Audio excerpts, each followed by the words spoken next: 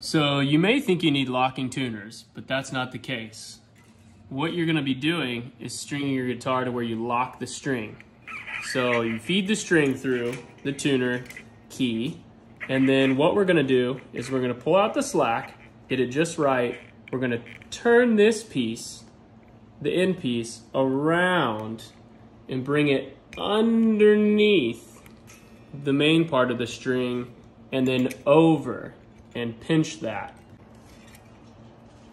And what this does is it locks in. Now we take the excess and we clip it. That is the key to locking your guitar strings. Now you won't get any slippage.